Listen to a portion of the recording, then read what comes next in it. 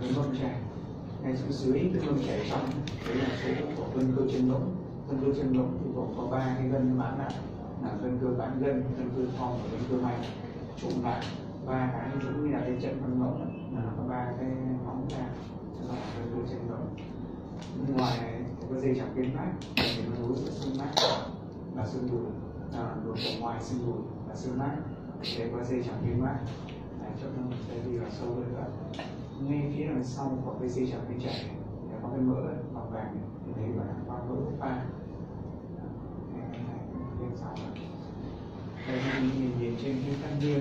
Hay là tương ứng với cái panorama Anh thầy thầy nói mic vâng. Mic được không à, mấy nhà xin lỗi mình không biết Thầy thầy cho con đi. À? À, ok. Xin cảm ơn thầy. Ờ, thế thì ở đây là nó có cái ờ, xương ờ, đùi này xương đùi. Ở đây thì có xương minh trẻ như vậy thì cái gân cơ tứ đầu đùi nó bám vào cái đầu trên của xương minh trẻ Đó.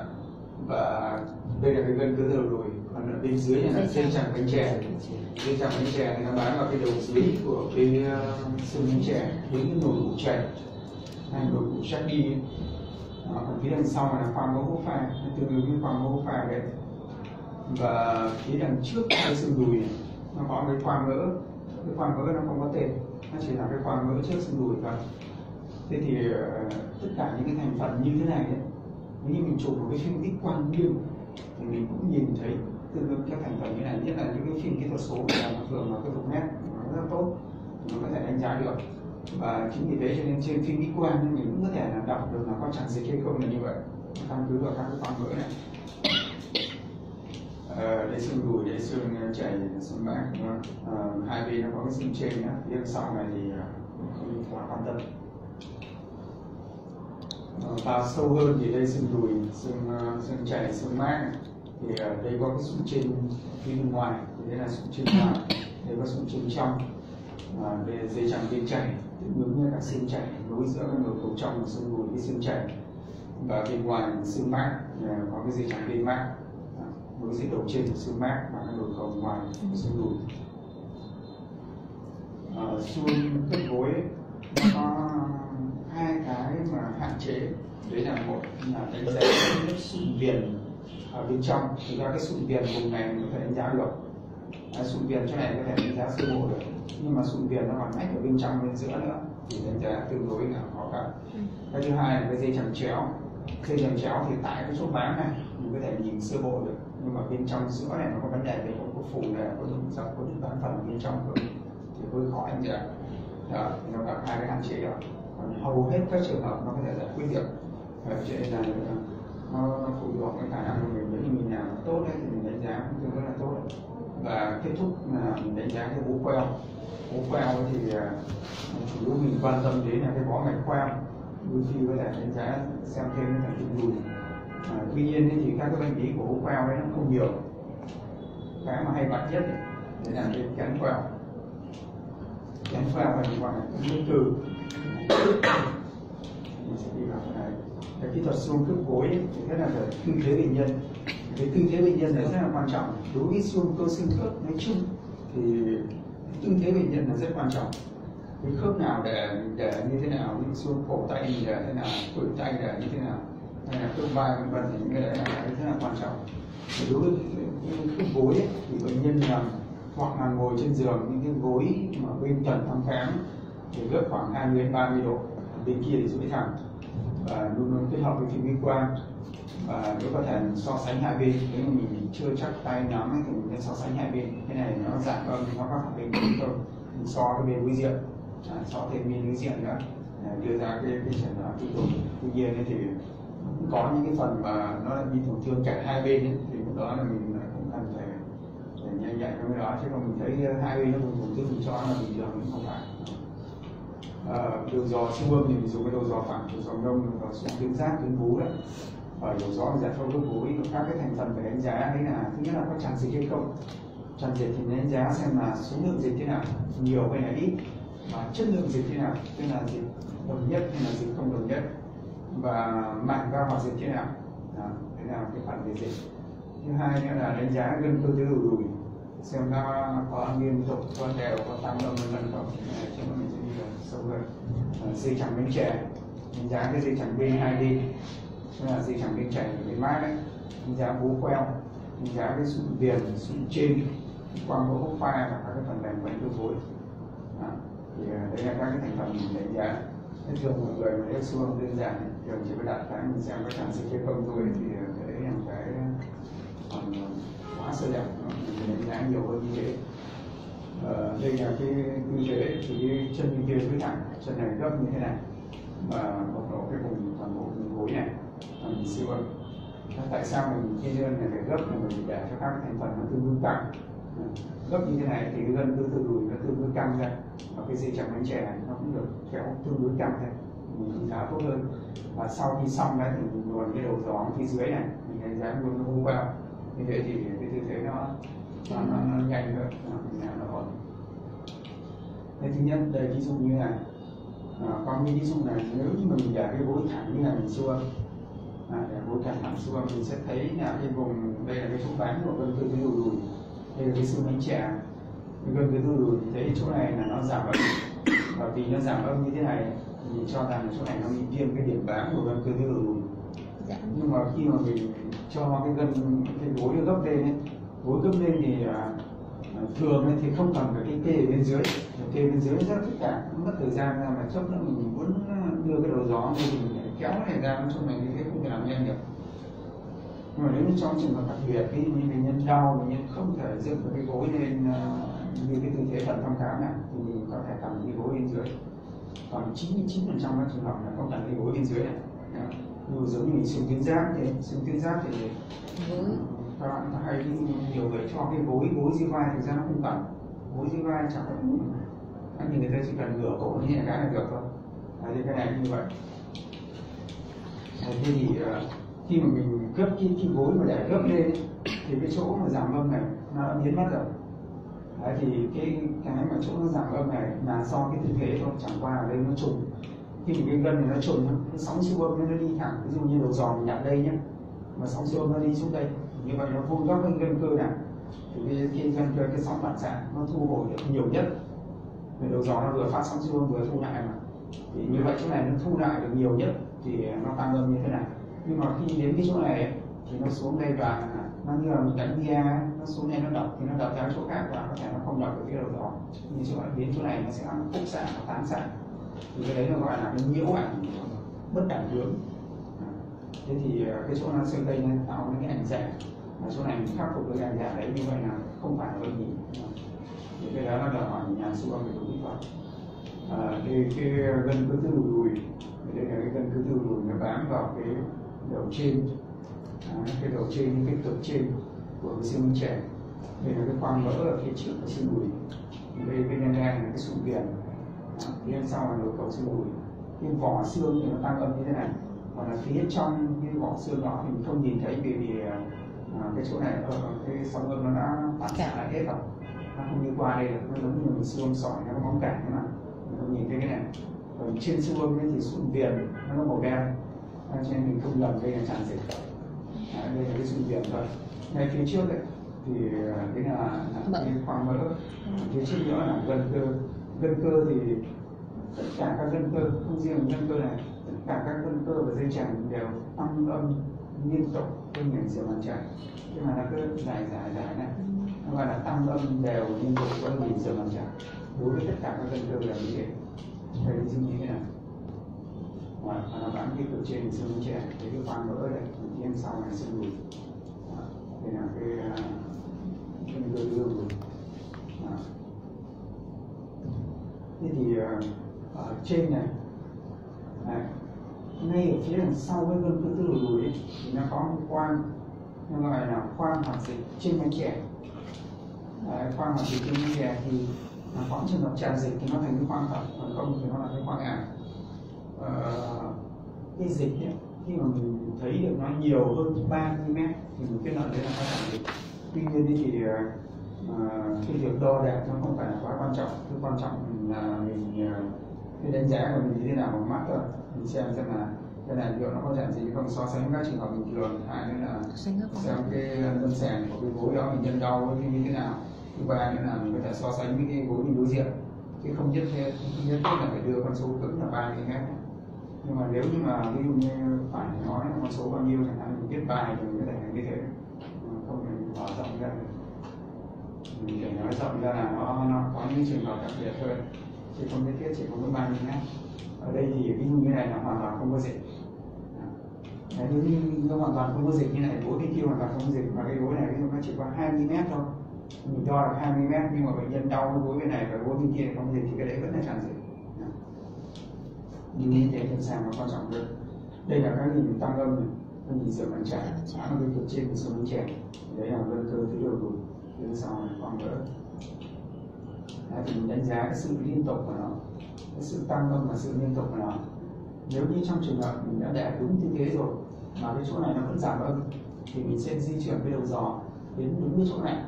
Hoặc là cũng có những người thì nó không phải là gấp 20 30 độ đâu có những người thì cho gấp nhiều hơn lên đến 60 độ nên có những người là cái cái gân cơ này người ta nó trùng hơn bình thường. Thế nên mình gấp cái đó mình vẫn thấy nó trùng thì mình cho nó gấp tăng hơn. Và nếu như tăng hơn cái cái giảm âm này nó biến mất thì như thế vẫn không phải bởi vì mình cho gấp uh, tăng hơn rồi mà uh, khi mình thấy là cái gân cơ nó không còn trùng nữa. Mà cái chỗ này nó vẫn giảm âm thì đấy là sau sáu nghìn mới diện thêm nữa. Đây là cứ đổi tên chi phí cắt ngang mình cắt dọc và cắt ngang cắt ngang là làm trên này. Phía này là khoa mỡ mở đây là xương đùi thế thì ví dụ như ở đây chẳng hạn, mình thấy là cái gân xương đùi nó chỉ đến đây thôi.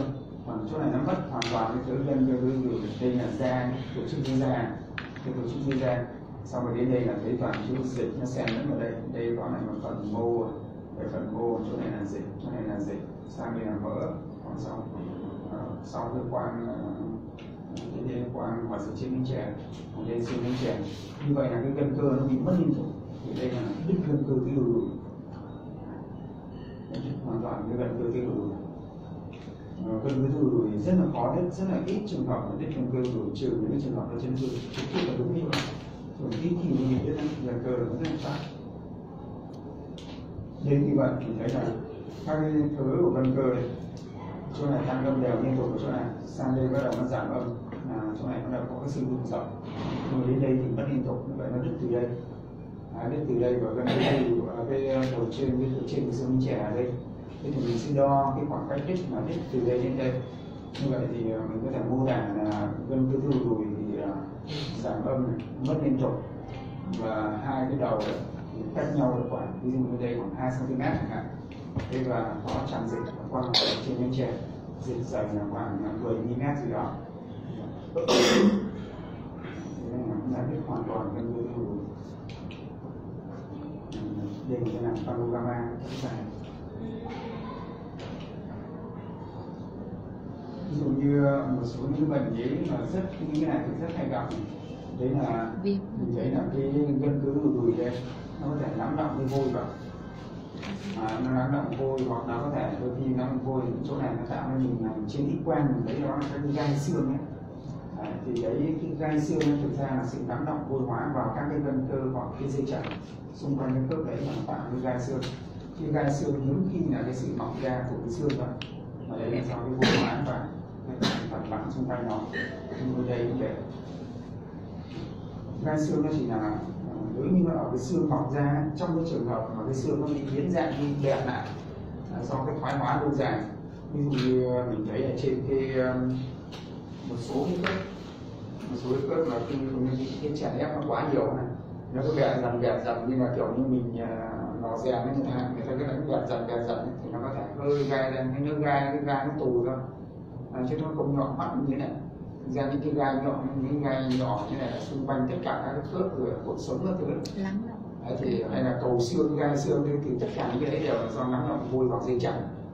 Mà nó, nó tạo ra các cái gai đấy chứ không phải là từ cái xương phát triển ra đây như đây thì có như gai xương ở lại cái chỗ nắng động vôi ở chỗ bảng của cái gân tư rồi toàn bộ xung quanh này khi mà bệnh nhân bị những cái vôi hóa những, những cái gai đó thì nó lại thành cái vòng xoắn bệnh lý. Người ta đi nhận tự động các thứ. Thì chỗ này nó va chạm và nó lại phù này nó lại viêm. Và cái thì là viêm nó là nắng nọng vô nhiều hơn. Tất cả những cái trong mô cơ thể tất cả những chỗ nào mà bị viêm tính thì đều có khả năng nắng nọng vôi cả ví dụ như lao phổi khả nó viêm mãn tính lúc đấy nó sẽ nắng nọng phổi rồi chỗ nào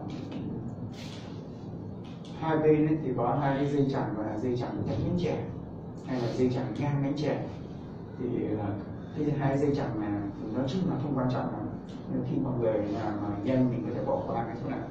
Hiếm khi mà nó bị tổn thương với hai cái dây chẳng hai bên này. Trong bệnh lý thoái hóa, không tính nhắc đến hai cái dây chẳng hai bên này và trong những chấn thương thì có nhưng mà rất hiếm. À, như vậy thì những trường hợp mà mình nghi ngờ chấn thương cái dây chẳng này thì mình biết là phải siêu âm chứ không cần phải systematic làm cái hệ thống. Đấy. ví dụ như uh, trường hợp nào bây giờ hạn như bình thường đấy là cái xương bánh chè nó đứng được giữa cái cơ gối này. Bởi vì vì trên này nó có cái này nó kéo dưới này có cái này kéo và hai bên có hai cái. Thế nếu như bây giờ cái này nó lệch sang bên này thì mình mới cần phải đánh giá cái này xem nó có bị đứt không. Nếu như nó chỉnh giữa này nó lên trên hoặc nó xuống dưới nhưng nó vẫn là dựa cái hai cái dây chẳng hai bên không phải chỉ là dây chẳng cái bánh chè là nó nối từ xương bánh chè ra cái đùi đầu vòng ngoài xương đùi đây là nối hai bên dây chẳng cái bánh chè trong và dây chẳng cái bánh chè ngoài. Mình giá cái sự điểm mình cắt ngang như này. Uh, cho bệnh nhân gấp cái gối khoảng 90 độ. Uh, khi mà bình thường thì đã cái gối 20 30 độ bây giờ cấp lại 90 độ thì nó sẽ bộc lộ cái xung điểm này ra. Uh, mình đánh giá cái xung là đây thành phần mà nó bao xung quanh cái vỏ xương như thế này. Đánh giá cái sự việc này thì rất là có giá trị nhất là trong cái trường hợp mà chẩn đoán thoái hóa khớp gối sớm có những người ví dụ hai năm ba mươi tuổi đã bị thoái hóa khớp gối thì khi lúc đó chụp trên phim quan thường là bình thường nếu bệnh nhân có điều kiện chụp cộng tử là cái tốt rồi. Nhưng mà nếu như người ta thiếu điều kiện không chụp được cộng tử thì siêu âm lúc đấy cũng khá là quan trọng. Nếu mình đánh giá được cái sự kiện để xem xem cái sự kiện nó có bị mất sụn không nó có bị mỏng không. Và nó có những cái gai siêu nhỏ khi mà nó, nó trên đi qua nó chưa nhìn thấy. Cái nữa là dây chẳng cánh chè. Dây chẳng cánh chè nó nối từ cái cực dưới của xương cánh chè đến cái đùi cục ra đi à, thì cái dây chẳng bánh chè này cũng khá là quan trọng. Để đánh trên siêu âm dây chẳng bánh chè. Ngay phía đằng sau dây chẳng bánh chè là khoang mẫu pha khoang. Mẫu pha đây là cái ví dụ nữa là nếu như cái, cái dây chẳng bánh chè mình để không đúng tư thế thì mình sẽ thấy là nó giống là bị viêm ở dưới này nó không bằng tăng âm đều liên tục mình nhận diện mà chả cái âm chỗ này nó giảm âm nhưng mà nếu mà mình à, để cái gối nó căng ra thì nó không bị trùng cái này nó bị trùng. Nếu nó căng ra và mình di chuyển cái đầu giò đến cái chỗ đó thì nó lại bình thường Đấy, nó không còn giảm âm như này nữa. Như vậy thì chỗ đấy không phải là tổn thương. Đây là cái dây chẳng của trẻ bên sau là khoang mẫu phải. Ra tổ chức mẫu di ra là dây chẳng của trẻ khoang mẫu phải. Bệnh lý của dây chẳng bánh chè thì ờ, chủ yếu đấy là viêm và đứt. Đứt thì ờ, có thể là đứt do chấn thương hoặc là đứt do thoái hóa. Nhưng mà do thoái hóa thì ít khi mà đến mức độ đứt. Do thoái hóa thì bệnh nhân người ta vẫn đi lại đều vẫn vận động nó cứ mạnh nó mới có khả năng đứt. Khi bị đứt thường viêm đâu còn là do trong chấn thương thì nó có thể đứt dây chẳng bánh trẻ. Còn trường hợp là đứt dây chẳng bánh trẻ thì sẽ thấy là khi gân cứ đùi đùi ấy, nó sẽ kéo cái xương bánh trẻ lên. Năm trước là có cái cậu nhỏ nó 11 tuổi, nhưng mà nó bị đứt cái dây chẳng bánh chè từ lúc 9 tuổi. Nhưng mà do không có cái điều kiện nối cái xương bánh chèo này, nhà nghèo, thế thành ra nó khuyết tật thế cái dây chẳng à, cái xương bánh chèo nó bị gân cơ đùi, nó kéo lên trên nó kéo tít lên trên cái dưới chỉ một phần ba dưới xương đùi. Cho nên sau có những tổ chức từ thiện à, nó giúp nó thì đi chụp cộng rồi lại nó bị đứt hoàn toàn cái dây chẳng bánh chèo như thế này người ta sẽ được kéo tạng giai đoạn lâu dài xuống. Để cho cái gân cơ tô dùng nó thích nghi dần.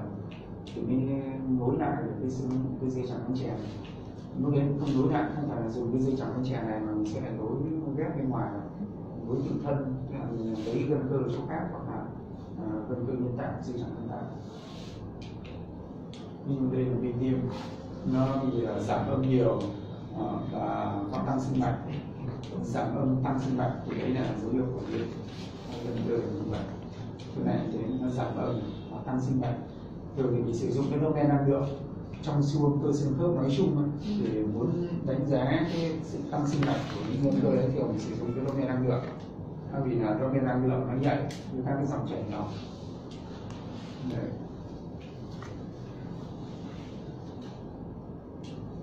Đây đây là cắt ngang để tăng đây tăng nó giảm vào tăng sinh này.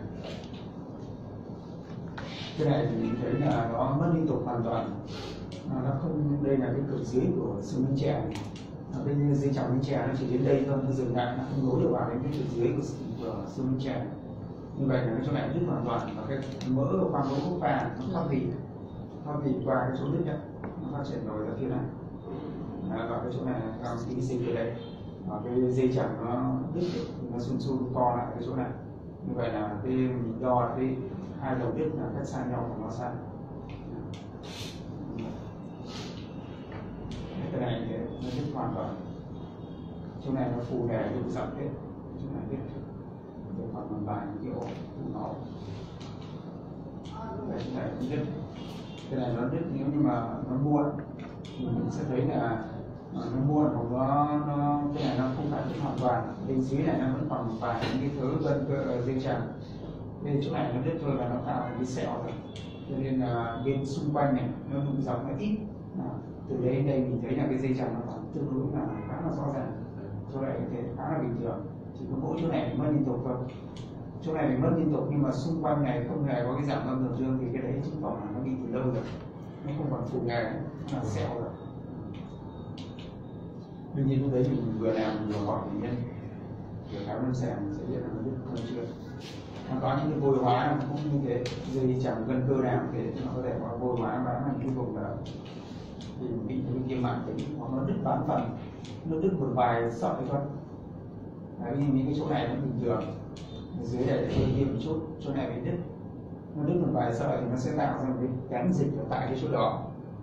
Đấy, khi cái chỗ nào nó đứt ấy, thì dịch nó sẽ găm vào cái chỗ đó nó sẽ chạy vào trong cái chỗ bị đứt đấy. À, mình sẽ đây mình thấy cái kém dịch ở đây thực ra là do cái đứt bàn phận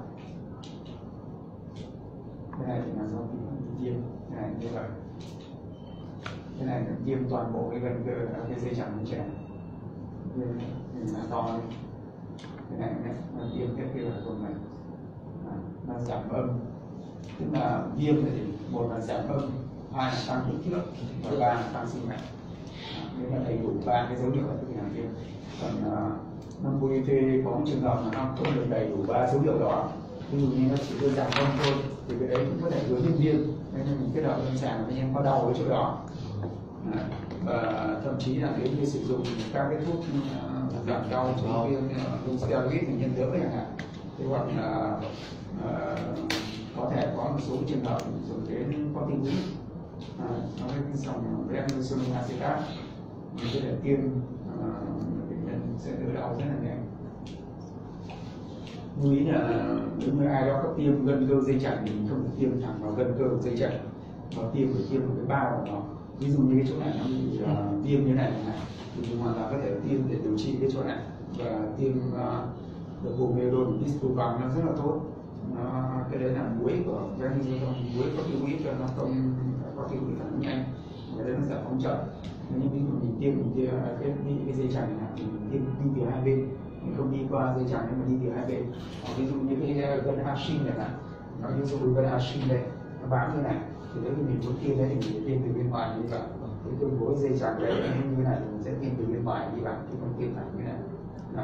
và lưu ý là không tiêm vào cái gân cơ dây chằng. Nếu mình tiêm cái thuốc vào thì gân cơ dây chằng thì nó có thể đứt gần lưu ý như thế nếu mà tiêm dưới hướng dẫn của siêu âm là tốt nhất còn không thì mình phải có kinh nghiệm rất là có kinh nghiệm để tránh được cái, cái này ra.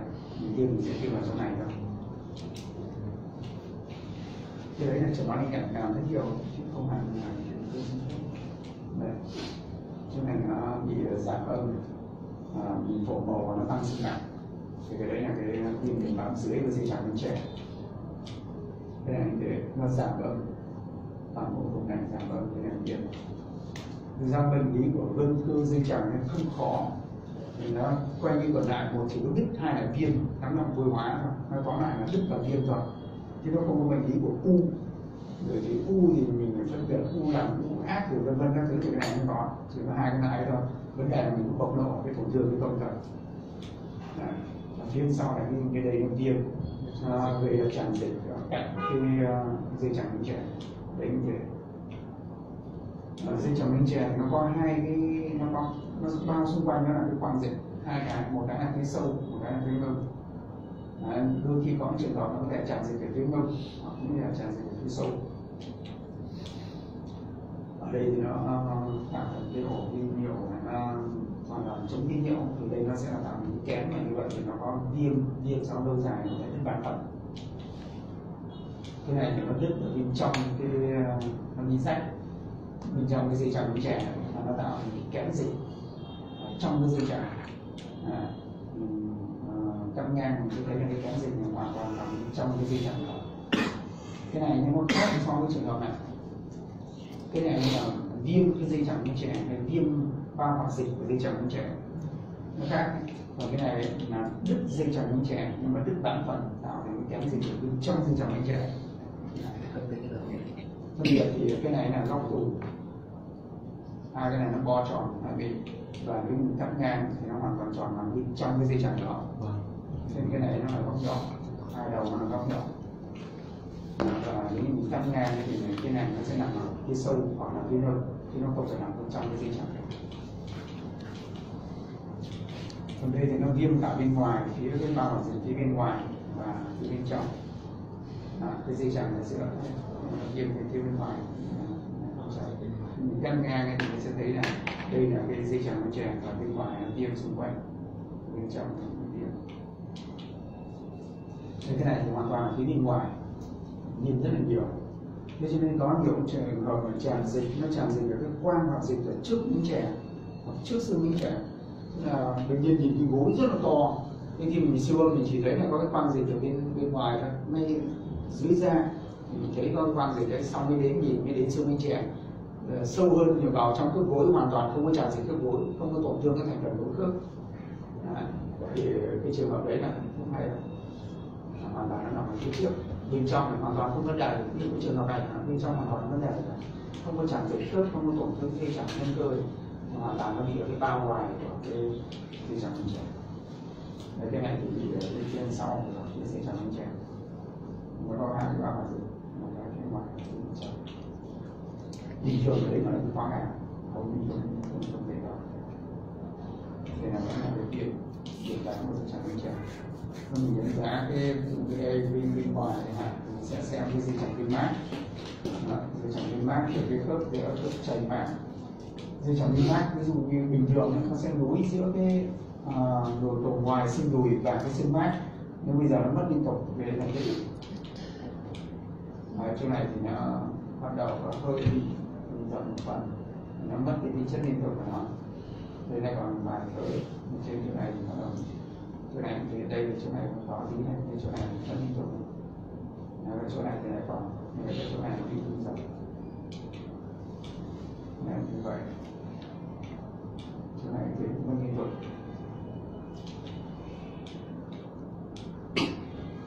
như vậy thế này để mà là có thời gian nữa mình sẽ hướng dẫn mọi người làm trên máy. Khả năng nó sẽ sẽ dễ nhìn được mình nói như này thì sao cái này không nhớ. Rồi cái cái chân tôi chân gẫm ở phía bên trong phía bên trong thì có cái dây chằng giữa đồ cổ trong của xương đùi và cái mâm chảy trong thì đấy là dây chằng bên uh, dây chằng bên chảy. Và ngay phía dưới dây chằng bên chảy thì có cái cơ chân động để đây là đôi chân để khi chằng bên chảy chạy xuống dưới, chẳng hạn thì tôi chân cấm đây như vậy, nó giải thích như đôi chân gẫm ví dụ nó vui hóa vào cái dây chẳng chạy, vui hóa vào vùng đấy thì đấy là cái viêm nó viêm mạng tính là nó gây vui hóa đấy. cái là nó có những chi phí nó bị từ lâu rồi thì cái này nó sẽ âm ở đầu trên của cái à, dây chẳng trẻ. Này, như vậy. Nó mất cái sự liên tục, nó không còn những cái, nó không còn những cái thứ dây chẳng kiểu như vậy nữa. Ở trong cái thoái hóa khớp thì mình sẽ đánh giá hết những cái như là tổn thương xương tổn thương sụn gai xương tràn dịch khớp kẹp ke khớp dày màng bao hoạt dịch tổn thương trên hay tổn thương dây chẳng quanh khớp vô những cái vân vân. Như đây trên kính quang mình có thể thấy cái gai xương. Dạ. Dạ, nhớ cái xương gai xương đang phản ánh là trọng là thoái hóa ở đây đây gân cơ dưới đầu đùi còn phía sau là cái khoang mỡ. Đây dây chẳng bánh chè dây chẳng bánh chè đây khoang mỡ không phải. Còn đây là cái khớp đùi chè. Nhưng như đây đang hẹp. Hẹp không đẹp hẹp ở đây. Hẹp không chú. Này là các cái của cái thoái hóa khớp à, ờ, mình có thể đánh giá rất là tốt cái ờ, vui hóa ở xuống trên à, vui hóa xương viền vui hóa của xương viền trên cái siêu âm. Bình thường ở trên siêu âm cái xương viền nó đen nó giảm âm. Xương trên thì nó tăng âm. Hai cái sụn tính chất nó khác nhau. Sụn trên thì nó tăng âm còn sụn viền nó giảm âm. Thì đây cái sụn viền này nó này không giảm âm mà nó tăng âm. Nó có rất nhiều cái mức vui hóa xung quanh thì đấy là cái thoái hóa sụn thoái hóa khớp Dụ như sụn viền đây là bình thường nó bị dày như thế này còn hơn thế này một chút. Nhưng chỗ này bị mất sụn viền sụn viền nó rất là mỏng. Như vậy là nó nó, nó sụn viền nó mỏng không đều. Thế này nó thoái hóa sớm. Nếu như các dấu hiệu trên đi ca nó chưa rõ thì âm mình sẽ giải quyết được là đã thoái hóa và thường bây giờ người ta hướng đến cái vấn đề là phải điều trị cái cái đó trước điều trị cái gốc của vấn đề là thoái hóa là chủ yếu là do tổn thương sụn à, thì uh, bây giờ nó có một số các hoạt chất như là uh, thường là axit hyaluronic hoặc là à, hồng cầu tiểu cầu tự thân. Người ta có thể truyền ờ, huyết tương ờ, tiểu cầu cái đó hoặc là cái truyền tiêm cái axit hyaluronic như các chế tạo như là hiền gan và hyaluronic của Hàn Quốc. Viêm gan của Ý. Người ta tiêm cái đấy để nó phục hồi tái tạo cái sụn này. Đây ví dụ như nếu có những gai xương thì nó sẽ gây viêm như thế này, và ờ, cái sụn trên nó thoát đi nó chui hết ra bên ngoài. Cái khe khớp nó hẹp. Thoát đi sụn trên mà gai xương. Nó sẽ gây tràn dịch. Tràn dịch thì thường là cái dịch như nó ở cái qua hoạt dịch trên chè là chính. Thì gần từ cái lùi đùi phía sau nó có cái tràn dịch. Mình sẽ đánh giá xem cái dịch nhiều hơn là ít. Và đánh giá cái màng bao dịch nó có dày hay không có trường hợp nó có thể dày nó chỉ dạng như như đây chẳng hạn như thấy là nó chặn được cái ờ, khoang hoạt dịch đó. Mình sẽ đo cái độ dày của nó và đánh giá ở đây là nó có dày không đều bên tàn bao hoạt dịch mà có chỗ thì đại như thành các cái nhú. Các cái nhú các nhung bao thì những cái trường hợp như thế mình điều trị nó sẽ khó khăn hơn. Bởi vì là uh, điều trị thì người ta vận động đi lại thì những cái nhung nó lại cứ va quẹt vào các thành phần xung quanh và nó cũng rất dễ lại tiết dịch tiết. Cái dịch nó lại tiết ra là nó, nói chung điều trị nó sẽ khó khăn hơn.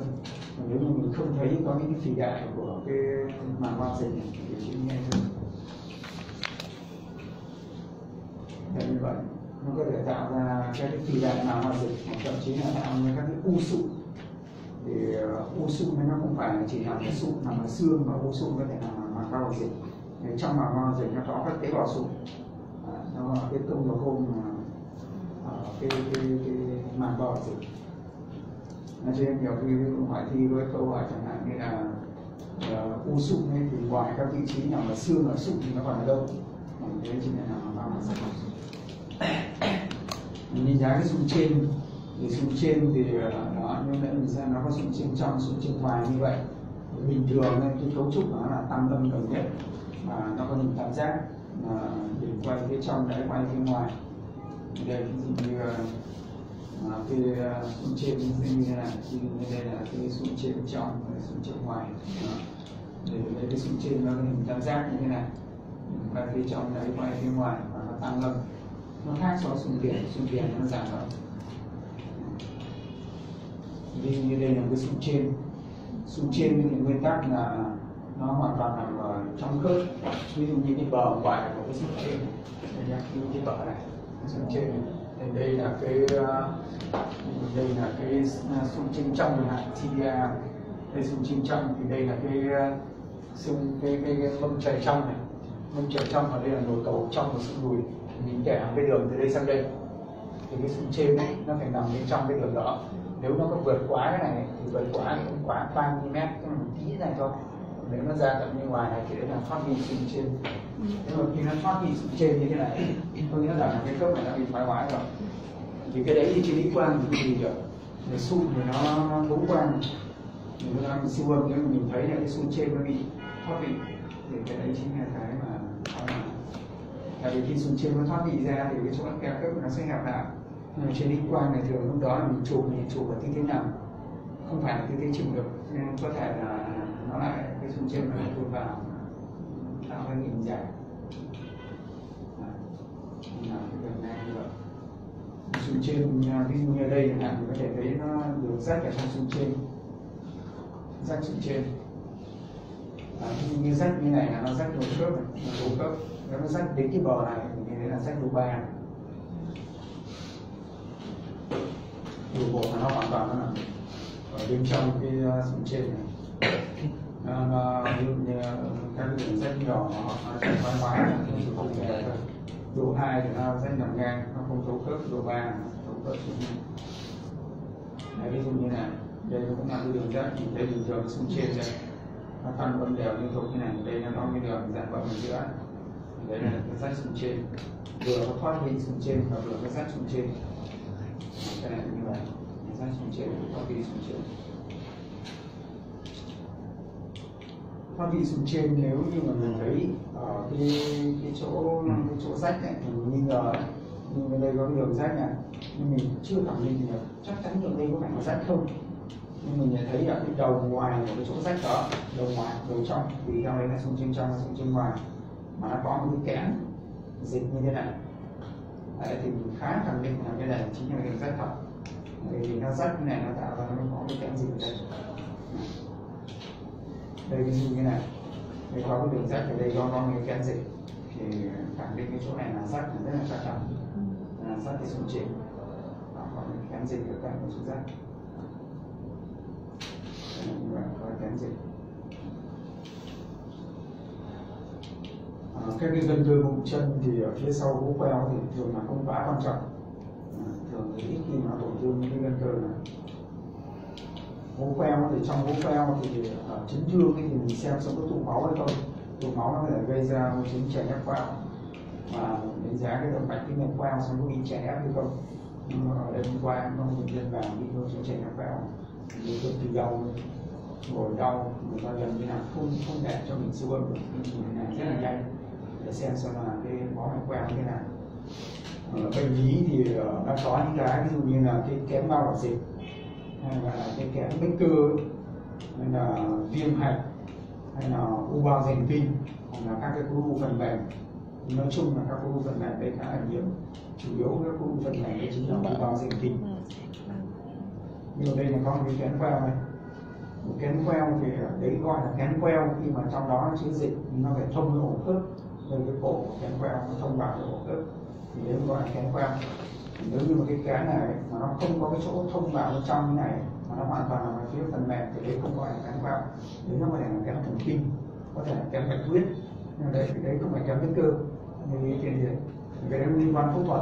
Nếu như mình kết luận đầu là đây là cái kén queo mà người ta mổ ra nó chẳng phải là kén queo chưa chắc nó xứng đáng mình mổ à, nếu như đấy nó chỉ là cái kén bạch huyết thôi thì người ta chỉ cần hút thôi là mình mổ à, chỉ cần trong cái kim đấy hút cái gì ra con kim nó hết nhưng mà nếu như nó là kén queo thì mình hút không ăn nuôi cả. Hút nó lại đổ vào nghe cái kén queo này nó chỗ này nó giống như ba một chiều.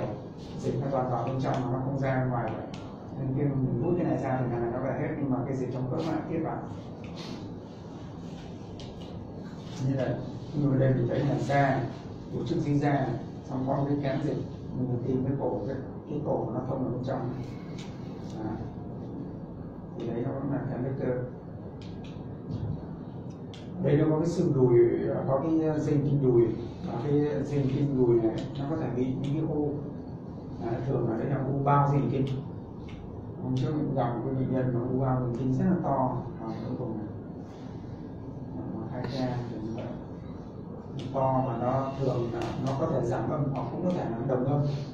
Nó phổ bầu vào thì là cái dây kinh đôi khi nó có thể có một vài cái mạch máu. Nó không canxi sinh đặc nhiều viêm màng ho dịch thì uh, lâm sàng thì viêm đau vân là có thể xét nghiệm dịch để tìm xem là có vi khuẩn tế bào viêm hoặc lao hay các thứ.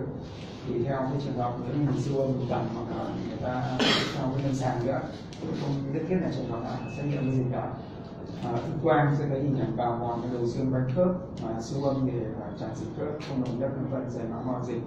Đều với không tùy vào từng giai đoạn ví dụ như này, thì thấy là cái màng quang dịch nó dày lên. Và phổ màu vào trên siêu âm thì nó dày, nó giảm âm và phổ màu vào sẽ tăng tăng sinh cảnh cái màng mòn dịch nó dày, nó tràn dịch. Này thế nó tràn dịch trong quang dịch và trên công từ thì tương ứng là nó ngấm thuốc rất là mạnh, cái màng quang dịch này. Để làm tiên màng quang dịch. Thì à, như vậy là xương khớp gối thì chúng một số những vấn đề như thế à, đôi khi mình có những chỗ mình khó khăn có phải so sánh với bên đối diện và thăm khám lâm sàng rất là quan trọng cùng với kết hợp với chuyên y quan à, và có thể hướng dẫn chọn sò điều trị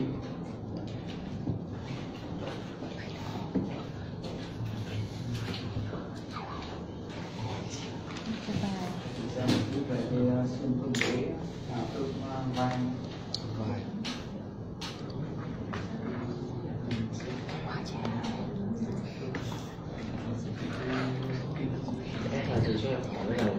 giày mà ba hoặc gì thì nó có tính theo bao nhiêu mm như nào? Không, bình thường nó trơn nhẵn. Nó không có gì lồi vào cảm, nó không đấy. Đó bình thường thì mình nhìn cái bao dịch nó sẽ rất là mỏng. Thế thì bình thường siêu âm thì có thể không nhìn thấy cái bao dịch thiên nhiên thế còn à, những cái trường hợp nó viêm dày này thì mình sẽ thấy là nó nó nó nó, nó thấy nó dày nên nó dày hơn bình thường. Thường nó sẽ kèm theo cả tràn dịch so không mình nhớ mình có thể so sánh với người đối diện. Chứ nó không có cái kích thước bao nhiêu thì gọi là dày. Thường sẽ kèm theo tràn dịch